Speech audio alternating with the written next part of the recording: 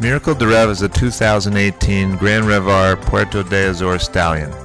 Miracle is the only son of Grand Revar. Grand Revar was by the top stallion Nabab de Reve from an H.H. Radko mother.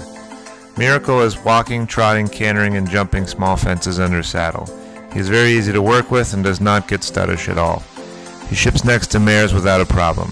This is a nice light type to make into whatever you like.